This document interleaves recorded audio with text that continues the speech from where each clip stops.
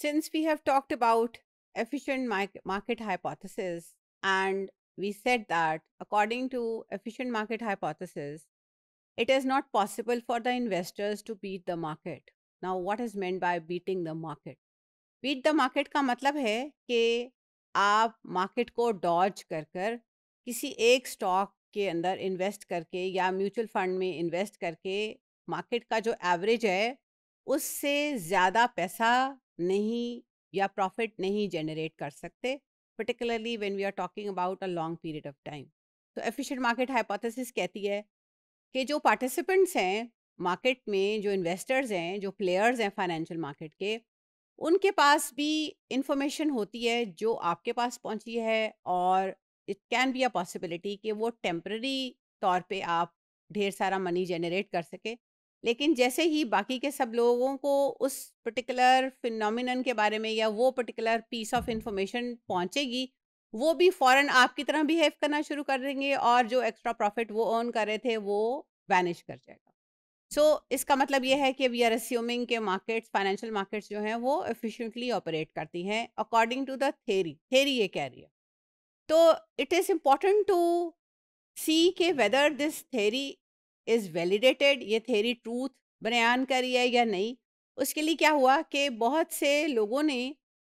जो financial market का data है, उसको लेके एनालाइज किया कि वाकई एफिशिएंट मार्केट हाइपोथेसिस एग्जिस्ट कर रही है, वैलिडेट होती है डेटा की मदद से, रियल लाइफ डेटा के ऊपर कि स्टॉक मार्केट्स को आप ऑब्ज़र्व करते हैं, स्टॉक प्राइसेस को और देखते हैं कि वाकई कोई इन्वेस्टर्स क्या were able to beat the market और नॉट तो उसके लिए हमने देखा कि म्यूचुअल फंड्स को लेकर म्यूचुअल फंड के मैनेजर्स को लेकर काफ़ी सारे एम्पेरिकल इन्वेस्टिगेशंस हुए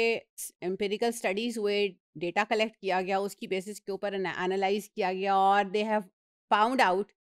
के जो म्यूचुअल फंड मैनेजर हैं they were they could not outperform the market. वो एक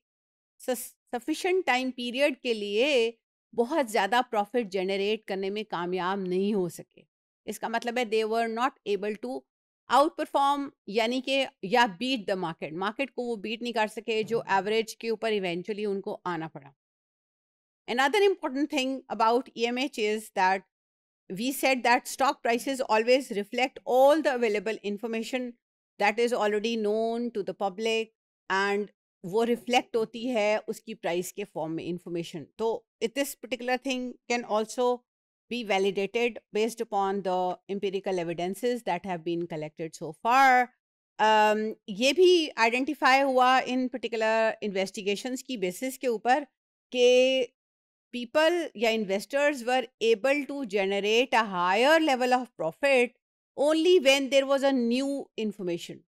there was some something that happened in that company for example वहाँ का जो board of governors है उनमें कोई एक आदमी ने उस बोर्ड बोर्ड को छोड़ दिया या वो फौत हो गया या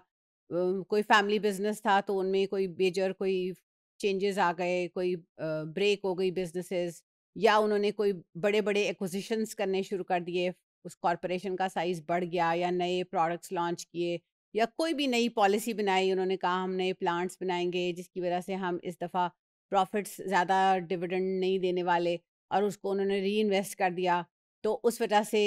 uh, if there is some new information pertaining to that particular stock या overall market में कुछ नया happen होता है financial market में तो only then for a shorter time period the investors were able to generate a higher level of profit but जैसे ही ये information तमाम participants of the financial market के पास चली जाती है तो वो जो एक्स्ट्रा प्रॉफिट अर्न करने वाले लोग हैं उनका उनका एक्स्ट्रा प्रॉफिट चला जाता है और उसके फिनोमिनन के लिए हमने डिस्कस किया था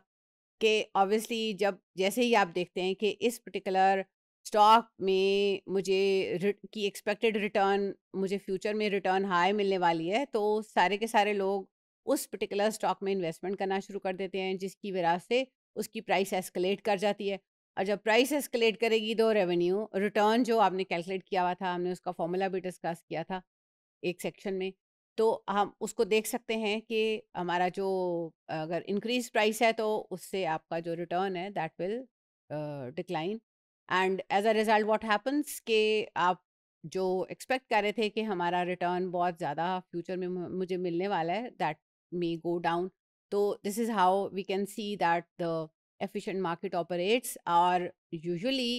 एम्पेरिकल evidences इंडिकेट करते हैं कि मोर or less usually हम इसी किस्म का फिनोमिनन देखते हैं कि मार्केट क्लियर होती है इन्वेस्टर्स के लिए पॉसिबल नहीं है टू बीट द मार्केट अगर छोटे से टाइम पीरियड के लिए कोई न्यू इन्फॉर्मेशन उनके पास आ जाती है, उसकी बेसिस पे वो मार्केट में ज़्यादा प्रॉफिट्स जनरेट करना भी शुरू कर देते हैं तो वो एक्स्ट्रा प्रॉफिट बहुत जल्दी जैसे ही लोगों को इन्फॉर्मेशन पता चलती है, वो चली जाते हैं एक्स्ट्रा प्रॉफिट्स सो जो फ्यूचर चेंजेस हैं in the stock prices we are also we have also assume कि एफिशिएंट मार्केट हाइपोथेसिस कहती है कि stock prices random walk show करते हैं का बिहेवियर ऑब्ज़र्व करते हैं हम, और रियल लाइफ में भी हम जब स्टॉक प्राइसेस को देखते हैं तो we observe a similar pattern के वहाँ रैंडम वॉक देखने को मिलता है।